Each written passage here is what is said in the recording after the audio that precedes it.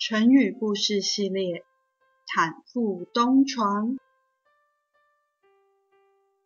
小朋友，你有听过“坦腹东床”这句成语吗？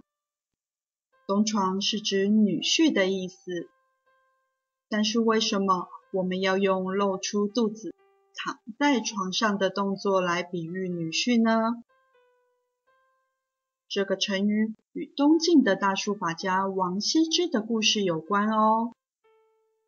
今天，让我们一起来听听坦腹东床的故事，看一看王羲之有没有成功娶回美娇娘吧。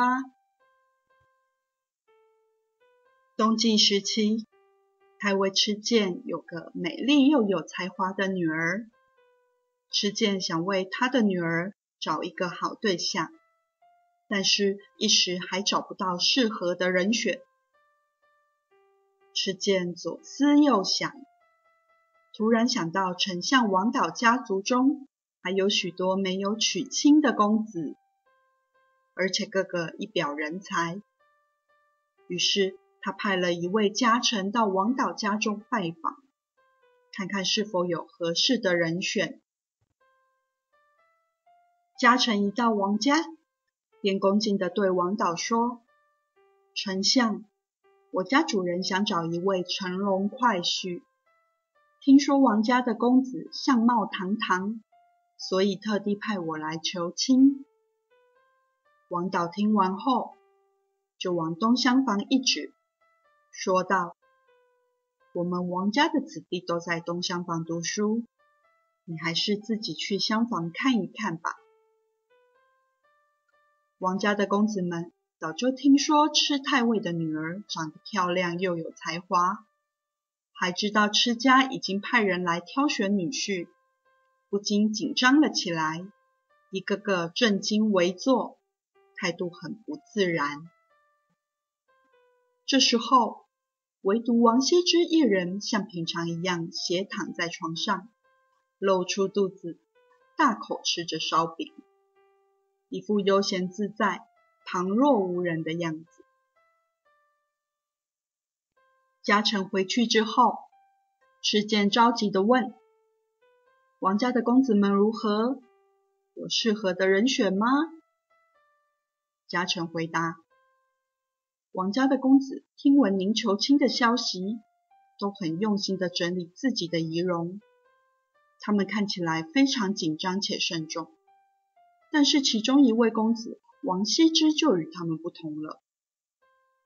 家臣皱着眉头继续说：“这位公子好像不太重视您要求亲这件事情，不仅没有好好整理自己的仪容，还躺在床上露出肚子，一副轻松自在的模样，一点也不在乎别人的眼光。”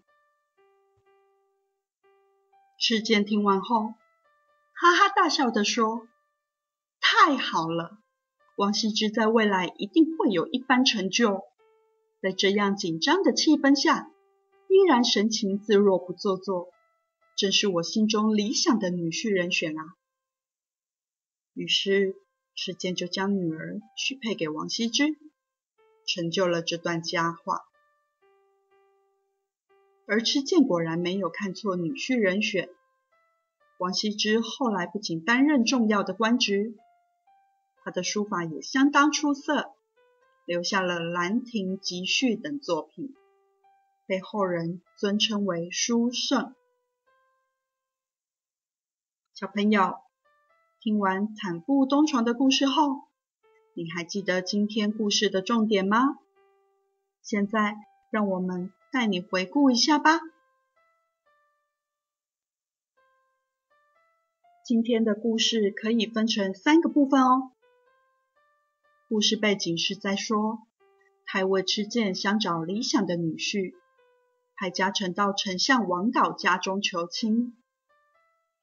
过程中，王家的子弟听到消息都非常的谨慎，只有王羲之一人坦腹东床。结果是。吃剑欣赏王羲之坦率不做作的态度，决定将女儿许配给他。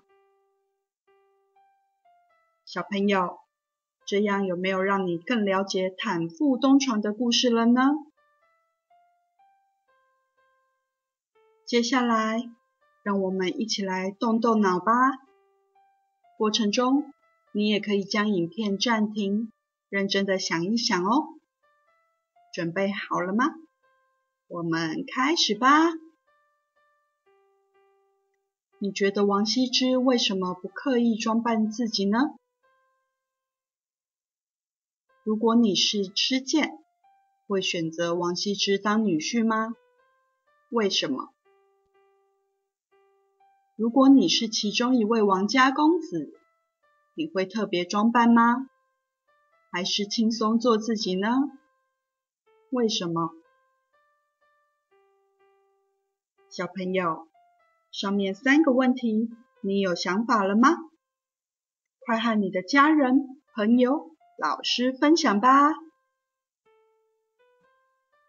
成语小教室，又到了成语小教室的时间啦。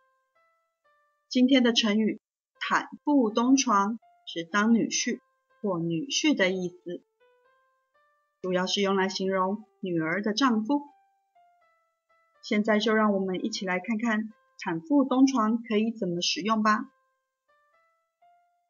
在指当女婿的意思的时候，它的例句有：他对女儿的婚事一直存着一个信念，既是名门闺秀，还怕没有世家子弟产妇东床。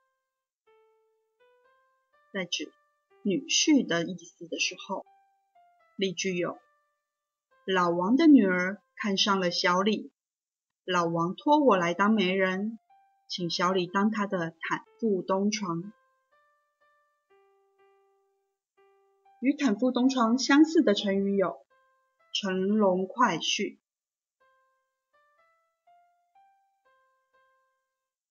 听完今天的故事后，你是不是更加了解了呢？